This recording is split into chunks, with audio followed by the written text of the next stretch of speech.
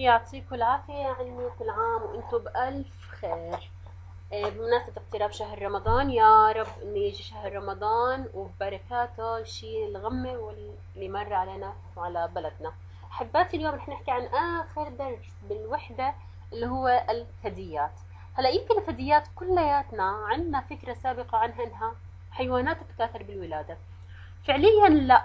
الثدييات هي حيوانات أغلبها بتكاثر في الولادة ولكن وجد بعض الأنواع تتكاثر بالبيوض ولكن جميع الثدييات تتفق بأنها ترضع صغارها عند ولادتها. لو إجينا نشوف الثدييات شو هي أنواعها رح نشوف إنه ثدييات مقسمة إلى نوعين أساسيات ثدييات أولية وثدييات ولودة. الثدييات الأولية أو بمعنى آخر بياضة. هاي الثدييات تتكاثر بالبيوض. وهاي الثدييات تضم ما يسمى بوحيدات المسلك. ليش اسمها وحيدة المسلك؟ لامتلاكها المزرق اللي هو زي الموجود بالمائيات والزواحف والطيور الفتحة اللي فيها المسالك الثلاث اللي هم التناسلية وال التناسلية والهضمية والإخراجية اللي هي الشرج والبولية سري هلا من أشهر الأمثلة عليها منقار البط هي حيوان منقار البط عندنا منقار البط هذا الحيوان بتكاثر في البيوض ولكنه يرضع صغاره عند ولادتهم. النوع الثاني اللي هي الثدييات الولودة وقسمت إلى نوعين كيسيات ومشيميات. الفرق بينهم كالتالي. هلا الاثنين هدول بتكاثروا في الولادة ولكن الكيسيات يولد الطفل غير مكتمل النمو لذلك تضطر الأم لوضع طفلها في من... في كيس موجود في منطقة البطن عندها زي ما إحنا شايفين الكنجر هون. إلى أن ينضج بشكل كامل. أما المشيميات طبعا الكيسيات إيش الأمثلة عليها الكنجر أما المشيميات مثل الحيتان الحيتان والدلافين على فكرة مش أسماك انتبه إنهم ثدييات. الخفافيش برضه مش أسماك مش طيور آسفة ثدييات. والفيلة والرئيسيات مثل الإنسان والقرود. هاي المشيميات تتصل الأجنة فيها بجدار الرحم. هلا كيف تتصل فيها عن طريق ما يسمى بالمشيمة؟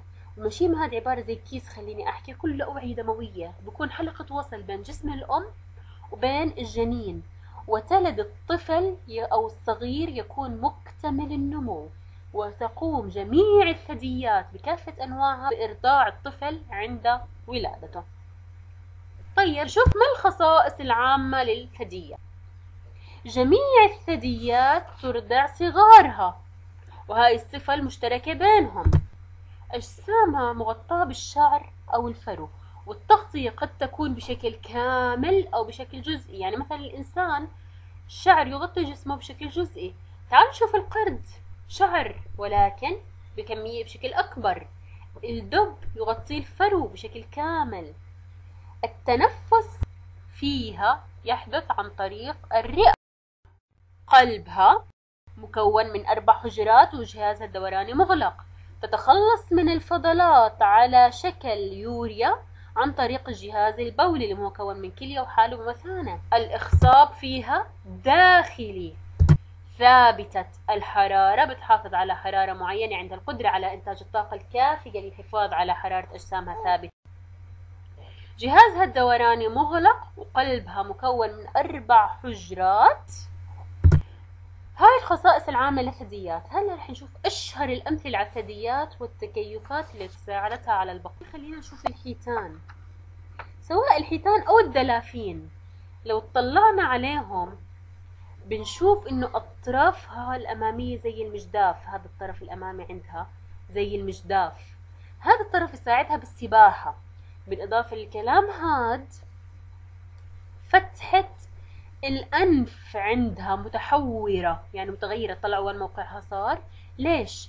تستنشق الهواء وهي على سطح الماء. كميات كبيرة بتحبسه بجسمهم. هلا بتعمل لما بترجع بتنزل للمي لما بترد تطلع مرة ثانية بتطلع المي من فتحتها الأنفية هاي بهذا الشكل. بعدين ترد تتنفس مرة ثانية. المثال الثاني اللي هو الخفافيش. هلا زي ما إحنا شايفين الخفاش هو على فكرة؟ الثدييات الوحيدة القادرة على إنها تطير. وهسه رح نحكي شوي عن آلية تحديد المواقع بجسمهم هلا الأصابع عند الخفافيش زي ما إحنا شايفين هاي العظام هاي أصابع. نطلع إنه كلها موصولة باغشيه جلدية. هلا الخفاش عنده نظام عظيم. فعلا قدرة الخالق عظيمة بهذا النظام. عنده زي جهاز الرادار بل وأقوى وأكثر تطورا من أجهزة الرادارات التي صنعها الإنسان. بصدر أمواج صوتية بطلعها بس تصطدم بإشي بترد منطقيا فيزيائيا ترتد له على الصدى. بهاي الحالة هو عنده قدرة يحدد المسافة اعتمادا على مبدأ صدى الصوت. طبعا الصوت هذا إحنا بنسمعه لا أمواج فوق صوتية. تتغذى الخفافيش بس ما حكيتها. تتغذى الخفافيش حشرات فواكه مش كلها على الدم بعضها بتغذى بتغذى على الدم بحيث إنه بثقب جسم الكائن الحي بده يمتص دمه. من هون إجت فكرة دراكولا وبفرزوا أنزيم عشان ما يصير تخثر للدم وبرضه هاي قدرة خلق فيها عشان يمتص الدم بسهولة. المجموعة الأخيرة من الثدييات رح نحكي عنها اللي هي الرئيسيات اللي بتضم الإنسان والقردة. وتعد أكثر الحيوانات ذكاء. ليش؟ لأنه أدمغتها كبيرة الحجم. هلأ خصائص الثدييات اللي ساعدتها في البقاء. أول شيء نطلع على إيديها. موقع الإبهام جاي مقابل الأصابع الأخرى وهذا الكلام بيساعده على الإمساك بشكل أفضل. لو إجينا نشوف عيونها موجودة في الجهة الأمامية من الرأس وهذا الكلام بخليها تشوف الصور ب 3 دي بشكل ثلاثي زي ما إحنا بنشوف يعني. مو الإنسان من الرئيسيات. برضه بحدد موقع الأشياء بشكل أفضل. إذا شو أهمية موقع العيون؟ الرؤية بشكل ثلاثي الأبعاد وتحديد مواقع الأشياء بدقة عالية. هسه رح نحكي عن بعض السلوكيات اللي آه، ساعدت الثدييات في البقاء. هلأ أول سلوك التجمع. شو هو التجمع؟ هي بقاء أفراد النوع الواحد على شكل قطعان أو أسراب. الخرفان تمشي مع بعض الذئاب تمشي مع بعض الفيلة بتمشي مع بعض. ليش؟ شو الهدف من هذا الكلام؟ بتدافع عن حالها. أولا الدفاع اثنين عشان تتعاون من أجل الصيد. السلوك الثاني تحديد منطقة النفوذ. فكرته كالتالي النمر مثلا بيختار منطقة معينة عجبته المنطقة الغذاء فيها كويس وغيره. على حدود هاي المنطقة يضع بوله. البول فيه منطقة فيه مواد معينة بتخلي أفراد النوع نفسه يعني النمور الثانية ما توصل لهذا المكان. تعرف إنه لا هون في نمر. هلأ هاي تلجأوا لها الثدييات لما الموارد في المنطقة اللي هي موجودة فيها غير كافية. عشان تمنع أفرادها أفراد نفس النوع الثانيين إنهم يجوا لهاي المنطقة. السلوك الثالث اللي هو الهجرة. الهجرة زي ما إحنا بنعرف انتقال من موقع إلى موقع آخر مثل الحمار الوحشي. ليش بيهاجر الحمار الوحشي؟ صار انخفاض حرارة مثلا. غذاء قل. ظروفها ما بتناسبه فبده فرصة أكبر للبقاء. بصير يدور عليها. السلوك اللي وراه اللي هو البيات الشتوي. طبعا زي ما في بيات شتوي على فكرة في بيات صيفي بس الأشهر هو البيات الشتوي. هو قضاء فترات. خلال فصل الشتاء خلال هاي الفترة لما بتنخفض الحرارة السبات الشتوي بقلل عمليات الأيض. بقلل التنفس حركات التنفسية بقلل معدلات ضغط الدم بقلل نبضات القلب كل هاي الأشياء بتقل. بالتالي بحتاج كميات قليلة جدا من الطاقة ولأنه ما بتحرك كمان بضل نايم طول هاي الفترة. هسا قبل ما يلجأ الحيوان مثل الدب أو الخفاش للبيات الشتوي بيلجأ لتناول كميات كبيرة جدا من الغذاء. الهدف منها إنه يحافظ على بقائه أثناء فترة السبات. نطلع كثير معروفة بين الظبيان والأسود والظبيان بالذات الظبي زي ما إحنا شايفين. هلأ هاي علاقة قتالية بين ذكور النوع نفسه. ليش؟ عشان فريسة بدهم يحافظوا على الفريسة شوف فريسة؟ مين اللي بيسيطر بياخدها أو عشان سيادة القطيع. يعني مبدأ البقاء للأقوى. بيعتمدوا بينهم بين بعض. أو في مواسم التكاثر بيلجأوا لها بغرض التزاوج حتى تفو يفوزوا بالأنثى. يعني في إلى ثلاث أسباب.